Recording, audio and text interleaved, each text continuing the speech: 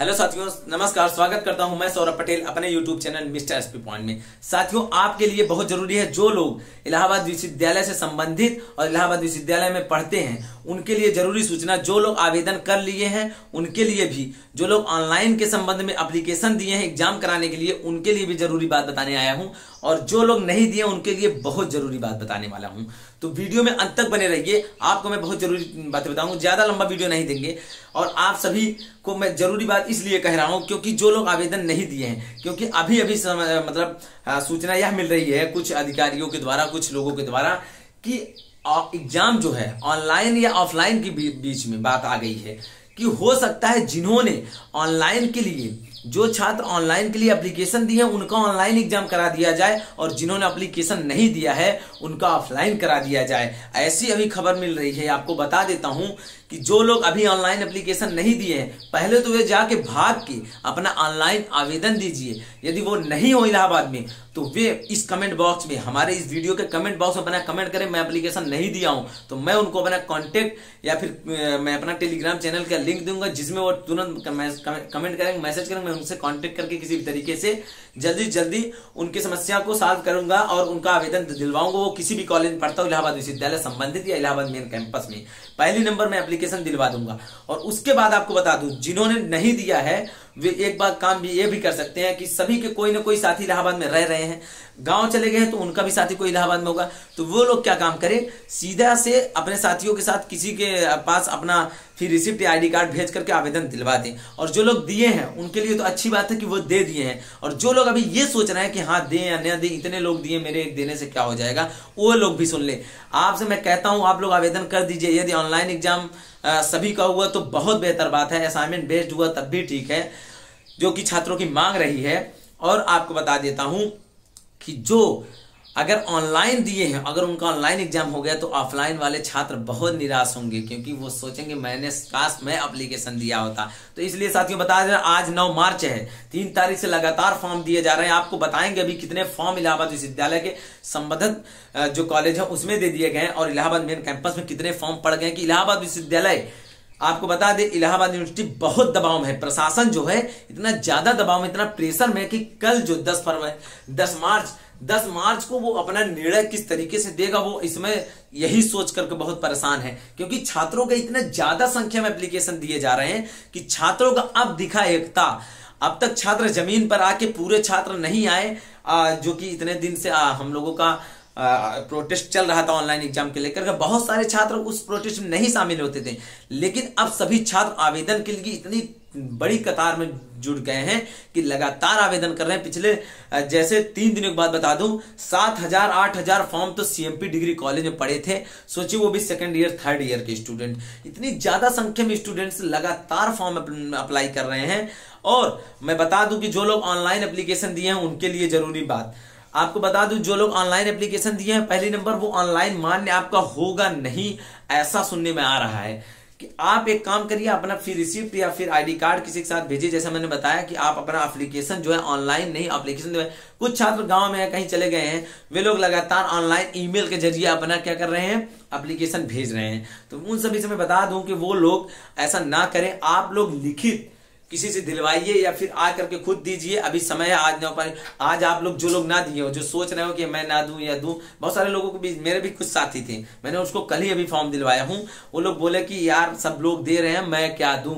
मतलब मेरे देने से क्या हो जाएगा? ऐसे ही बहुत सारे मसीहा मतलब ऐसे ही बहुत सारे धुरंधर पड़े हुए हैं कि जो सोच रहे हैं, मैं क्या दूँ, मैं सब लोग दे रहे हैं, क्या दिक्कत है, जो होगा देखा जाएगा। तो आपसे मैं बता देता हूँ, ऐसे ही सभी करने लगेंगे। तो अगर सौ सौ लड़के किए एक कॉलेज से तो दस कॉलेज अफिलिएटेड में आ गए तो एक हज़ार लड़के ऐसे ही हो गए। तो इसीलिए आपसे कहता हूँ, आप सभी लोग जो ना दिए हो, जो सोच रहे हो कि देने के लिए, आज नौ मार्च को जाके जल्दी से आवेदन दे दीजिए अप्लीकेशन फ़ीस रिसिप्ट लगा दीजिए, जो लिखिए उसका टू कॉपी रख लीजिए अपने पास। और कह रहे हैं कुछ लोगों का लगातार यह सवाल आ रहा है कि जो हम लोग अप्लीकेशन दे रहे हैं, उसका फिर रिसिप्ट उसका मतलब हमको रिसीविंग नहीं मिल रही। तो रिसीविंग कुछ कॉलेजेस में क्या किया जा रहा है कि, जो आप एप्लीकेशन लिख रहे हैं, पहले नंबर स्टूडेंट उसका टू कॉपी करा के ला रहा है साथ में, और उस पर मोहर या साइन करवा के दे रहे हैं। एक काम ये हो गया। और उसके अलावा, आपको बता दें, कुछ जगहों पर डायरेक्ट ले लिया जा रहा, कुछ रिसीविंग नहीं दिया जा रहा। उनके लिए मैं बता देता हूँ, पहले नंबर तो सभी लोग एप्लीकेशन लिखकर फ़ोटो तो ज़रूर खींचे रहते हैं। नॉर्मल बात हो गई है। चलिए, और रिसीविंग आपकी मिल गई। लेकिन आप लोग काम करिए क्या? जो एप्लीकेशन लिखी है, उस एप्लीकेशन को लिखने के बाद उसका एक टू कॉपी करवा के अपने पास रख लीजिए, वही आपकी रिसीविंग हो जाएगी। उसके अलावा आप सभी क्या करिए जो लोग ऑनलाइन आवेदन न दिए हों उनको आज सजेस्ट कीजिए कि आप जल्दी जल्दी ऑनलाइन के लिए एप्लीकेशन दीजिए ताकि आ, अभी जो विश्वविद्यालय प्रशासन इस बात को देख करके और इतनी ज़्यादा संख्या में इलाहाबाद विश्वविद्यालय में इतने फॉर्म पड़ चुके हैं ऑनलाइन आवेदन के लिए और आईएसडीसी में हर एक कॉलेज में पहले दिन आईएसडीसी में दो से तीन हज़ार फॉर्म पड़े थे पहले दिन। सीएमपी में चार हज़ार फॉर्म पड़े थे। आप जरा सोचिए, चार हज़ार फॉर्म एक दिन में ऑनलाइन के लिए। और अब तक नहीं विश्वविद्यालय सोच रहा था कि छात्र यही कुछ छोटे मतलब कुछ ही छात्र हैं जो कि छुटपुट छात्र यहाँ पे ऑनलाइन एप्लीकेशन, ऑनलाइन के लिए प्रोटेस्ट कर रहे हैं। लेकिन अब इलाहाबाद विश्वविद्यालय की अकल ठिकाने आ गई है कि छात्र जो हैं कितने ज़्यादा संख्या में ऑनलाइन के लिए मांग कर रहे हैं। तो इसीलिए साथियों कहता हूँ, जो आपके साथी अभी ना दिए और जो गाँव गए उनका आप खुद एप्लीकेशन लिख कर दे दीजिए। इससे आपका कुछ नहीं जाने वाला है। दो चार रुपए का टू कॉपी करवाना पड़ेगा, बस उसके बाद आप दे दीजिए ऑनलाइन एप्लीकेशन आपके साथ जो पढ़ता हो, जो ना दे पाया हो, पूछिए आज सभी लोगों से। और आज आप लोग जो लोग ना दिए हो, जल्दी जल्दी जा करके दे दें, क्योंकि दस तारीख तक हम लोगों को समय मिला था। इलाहाबाद विश्वविद्यालय एक और कड़ी हम लोगों के सामने रख दी। हम लोगों ने उसको भी स्वीकारा। जितने छात्र स्वीकारे, लेकिन देखा जाए कि हमारे जो बड़े भाई लोग इस वक्त गलत आरोप के चक्कर में जेल में चले गए हैं। आप लोग जानते ही हैं, उनके ऊपर सरासर गलत और संगीन धाराएँ लगाई गई हैं, जो कि बिल्कुल गलत है। ऐसे किसी, आपको क्या ही बताऊँ कि विश्वविद्यालय प्रशासन किस लिए ऐसे अपने छात्रों के साथ कर रहा है।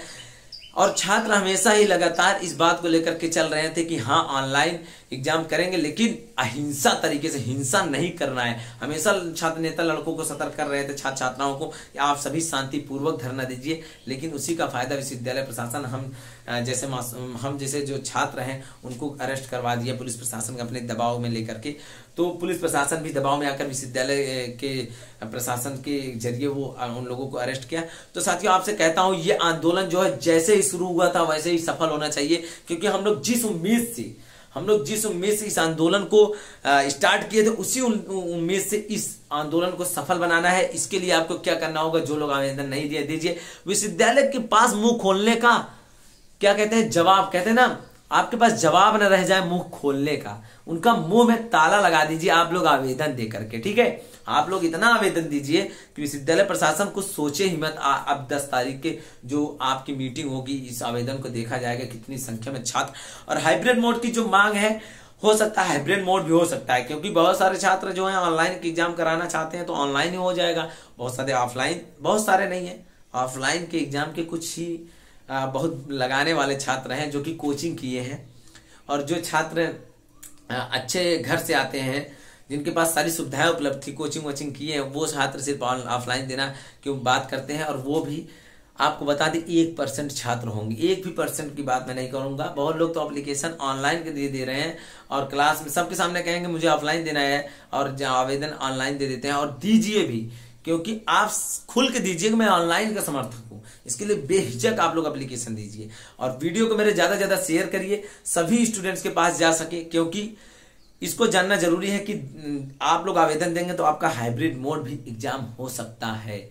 तो इस वजह से साथियों वीडियो में बने हो लास्ट तक तो आप वीडियो को लाइक करके जाइएगा। वीडियो अच्छा लगा हो तो चैनल को सब्सक्राइब करिएगा साथियों। वीडियो को ज़्यादा ज़्यादा शेयर करिए। आपका साथी इलाहाबाद विश्वविद्यालय से हमेशा जुड़ा रहता है। मैं सौरभ पटेल। आप सभी से विदा लेता हूँ।